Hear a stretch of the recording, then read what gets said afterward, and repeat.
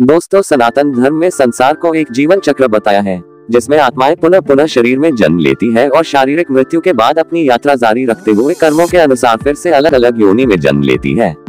अब आत्माओं का भी एक अलग संसार होता है या लोक होता है। उसमें अच्छी और बुरी आत्माएँ दोनों हैं। पितृलोक को संरक्षण का लोक भी कहते हैं। पितृपक्ष उन्हीं पितरों की आत्माओं को पूजने के लिए निर्धारित किया गया समय अवधि है। यह इसलिए भी है कि मृत्यु के पश्चात अगर हमें मोक्ष नहीं मिले तो भी कम से कम पितृलोक में हमें जगह मिले। हमारी आत्मा को भटकना न पड़े। मनुष्य योनि में जन्म लेने के लिए केवल पितृलोक से आत्मा का आगमन होता है, अन्यथा दूसरे लोक से अन्य निम्न योनि में जन्म मिलेगा। तो श्राद्ध कर्म करके हम अपने मृत्यु के बाद की योनि को सुधार रहे हैं। आत्माएँ भोजन नहीं करती, वह केवल आपके भाव से संतुष्ट होती है। देवस्मृति के अनुसार श्राद्ध करने की इच्छा करने वाला व्यक्ति परम सौभाग्य पाता है।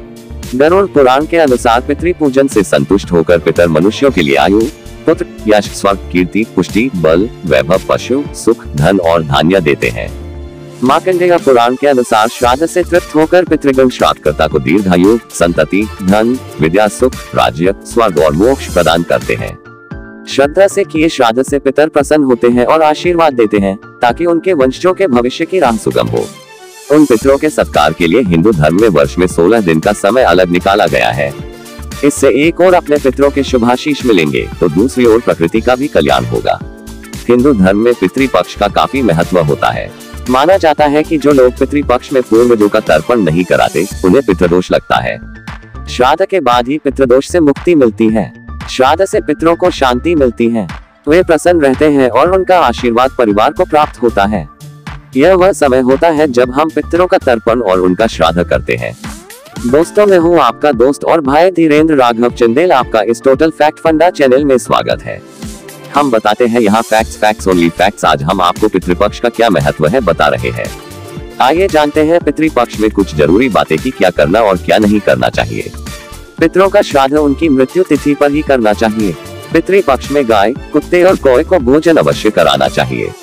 क्योंकि ऐसा करने से पितरों को हमारे द्वारा दिया गया भोजन प्राप्त होता है। पितृपक्ष में जिस व्यक्ति का श्राद्ध कर रहे हैं, उसका मनपसंद खाना ज़रूर बनाए।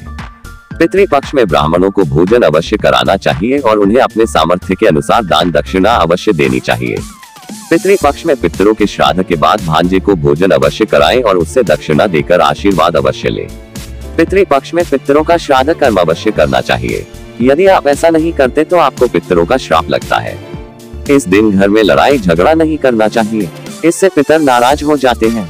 इस समय में अपने घर पर मांस और मदिरा का सेवन भी बिल्कुल नहीं करना चाहिए। पितृपक्ष में आपको किसी भी पशु या पशु को न तो मारना चाहिए और नहीं सताना चाहिए।